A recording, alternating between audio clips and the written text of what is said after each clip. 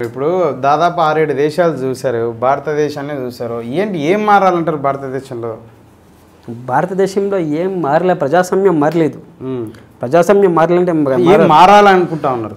Rules and relation మారాలి.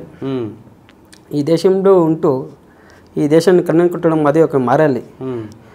రాజకీయం అనేది ఇప్పుడు ప్రతి ఒక్క పొలిటీషియన్లు ఉంటారు పెద్ద పెద్ద టీచర్స్ ఉంటారు వాళ్ళంతా ఎత్తుకుపోయి ప్రైవేట్లో వేస్తారు. అది తప్ప గవర్నమెంట్ స్కూల్ని చదివించాలి వాళ్ళంతా. చదివించాలి. ఒక గవర్నమెంట్ స్కూల్ని ఒక ఒక ప్రైవేట్ ఎలా ఉంది? అలాగా ఇంప్రూవ్మెంట్ చేయాలి. అప్పుడు పేదలు కూడా సమానంగా అప్పుడు పేద లేదు. రిచ్ లేదు ఇద్దరు సమానంగా చదువు అందించాలి. ముఖ్యంగా ఎడ్యుకేషన్ మోస్ట్ ఇంపార్టెంట్. రిజర్వేషన్ అనేది అంటారు. ఆ రిజర్వేషన్ గురించి నాకు అంతగా తెలియదు అది తెలిసినా కూడా నేను మాట్లాడలేను. పేదవాడు ఎవడు ఉంటాడో ఉమ్. క్యాస్ట్ చూడకుండా. ఏ క్యాస్ట్ అయినా పర్లేదు. నువ్వు క్యాస్ట్ అప్పర్ క్యాస్ట్ నువ్వు లోవర్ క్యాస్ట్ అప్పర్ క్యాస్ట్లో మేము పుట్టాము. నేను పెద్దవాళ్ళు కదా. ఇప్పుడు నాకు ఎంత ఉంది? నాకు ఏం రిజర్వేషన్ దొరుకుతుందా ఉమ్. ఆంధ్ర మధ్య గారు పది పర్సెంట్ రిజర్వేషన్ అన్నారు. ఆ రిజర్వేషన్ ఏమో నాకు ఇప్పుడు కూడా తెలియదు. అది ఎవరికి ఇస్తున్నారో అది వాళ్ళకే తెలియాలి. మీకు కూడా ఉంటుంది అది ఏం ఏం ఇస్తున్నారు? ఒక పెన్షన్ లేదు. ఒక జాబ్ లేదు. పెన్షన్ లేదా పెన్షన్ కూడా లేదు. అప్లై చేస్తాను సబ్మిట్ చేస్తాను అది లేటు ఇది లేదు ఇది లేటు ఇది లేటు అంటున్నారు. ఇంకొకరు అడిగాను సమ్ టైమ్ చేసిస్తానని చెప్పారు.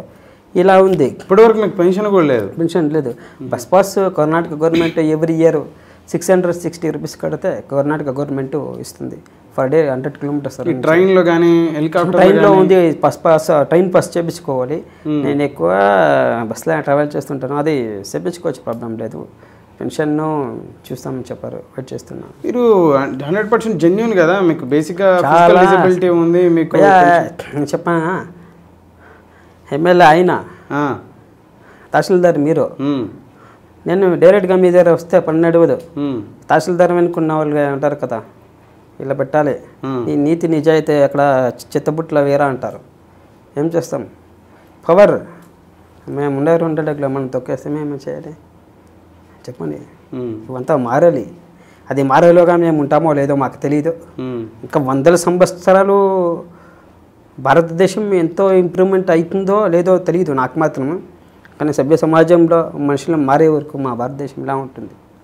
ఏం చేయలేము. ఉమ్. జెన్యున్ ఉన్నప్పటికీ మీకు పెన్షన్ రావట్లే.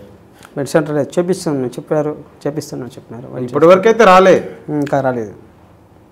మగధీర ప్రకాష్ మగధీర గారు చెప్పుకోవచ్చు అన్నారు. అసలు మగధీర అనే పేరు ఎందుకు పెట్టుకున్నా అంటే రామ్ చరణ్ గారి ఒక మూవీ వచ్చింది. నేను సాధన చేసుకుంటా ముందుకు వెళ్తా ఉంటా. మహదీర్ అనే పేరు నాకు మంచిగా అనిపించింది అందుకని పెట్టుకున్నాను. సాధనకు ఆ పేరు చివరిగా యాడ్ అవుతే మంచిగా అనిపిస్తుంది అనే ఉద్దేశంతో. బేసిక్గా నేను తమిళనాడులో పుట్టాను తమిళనాడులో పెరిగాను.